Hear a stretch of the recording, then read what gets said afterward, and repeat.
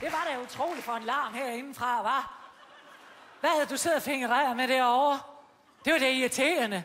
Hvad? Ved du hvad, jeg når kom hele vejen herhen, hele vejen herind og stå, og du bliver ved med at sidde der og lave larm og regere, og hvad ved jeg? Hvad? Det er ikke til at høre, hvad man selv mener jo. Tch, irriterende. God aften, jeg hedder Inger Støjberg.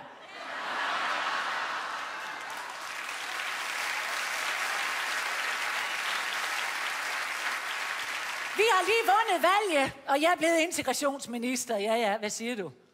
Hvorfor jeg er så skide sur? Det er jeg da heller ikke, sådan ser jeg ud. Det var da irriterende. Nej, var er det irriterende. Hold da fast, det irriterende. Jeg skal ikke være min egen krop nu, det er helt sikkert. Jeg bliver nødt til at tælle til mindst 10 nu, det kan jeg godt mærke. Så må jeg lige vente et øjeblik. 1, 2, 3, 4, 5, 6, 7, 8, 9. Og så 10. Det var godt, Inger. Sådan der. Hvor kom vi fra? Ja, jeg kommer fra Jylland. Og der er vi altså nogle stykker, der kan finde ud af at kalde en skovl for en skovl. Og en indvandrer for en ballademager. Så er jeg blevet beskyldt for, at jeg på de sociale medier blander mit privatliv med mit politiske virke. Det har jeg meget svært ved at genkende. Når jeg på Facebook skælder ud på nogle indvandrerdrenge i biografen, så er det for egen regning. Jeg er ikke sendt i byen af Venstre.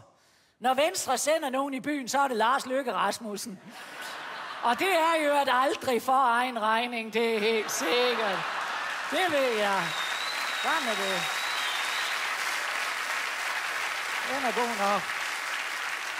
Man påstår, at jeg kaster benzin på bålet i indvandrerdebatten. Det har jeg meget svært ved at genkende. På de sociale medier, der er jeg Inger. Jeg er lille Inger fra Hadsund.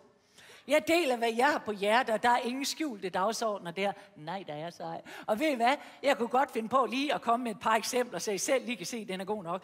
Jeg kan for eksempel rigtig godt lide at lægge madbilleder ud. Det er min hamperryg. Det er hamburg, det er hvid opbagt sovs, det er blomkål og det er kartofler. Som jeg poster i gruppen, os der er ved at være godt træt af hvidløg og brun kulør. Hashtag, folk der elsker krydderier skulle tage hen, hvor peberet gror. Det er da ikke en offentlig mening, det er en helt privat smagsag, det er helt sikkert. Jeg kan også godt finde på at poste min playliste fra Spotify, så folk kan følge med i, hvad for noget musik jeg går og lytter til. Jeg lytter til Peter Belli i øjeblikket. Bliv væk fra vort kvarter. Har du nogensinde set København fra en DCN?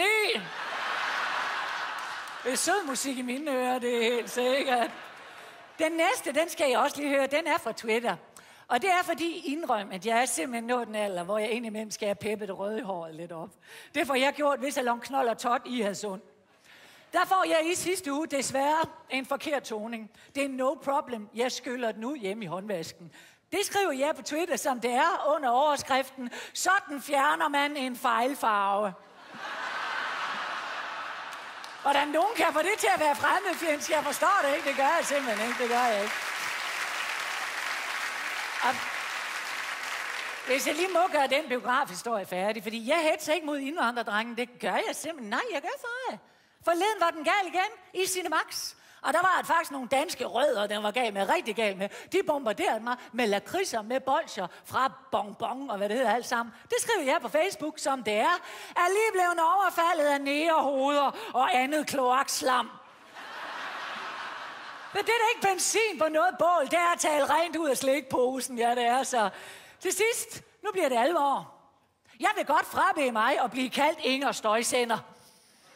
Jeg vil ikke have det. Det hører ingen steder hjemme. Det gør det ikke. Jeg har googlet det. Ja, jeg har så. Og det er defineret som, jeg har lige her. Støjsender, en skænger tone, der forpester al samtale. Det har jeg meget svært ved at genkende. Og så må du gerne spille. Spil da, når jeg siger, du skal spille. Det er da irriterende. Er det ikke irriterende? Jeg bliver gal. Jeg bliver så gal over sådan noget der. Jeg skriver, jeg skriver.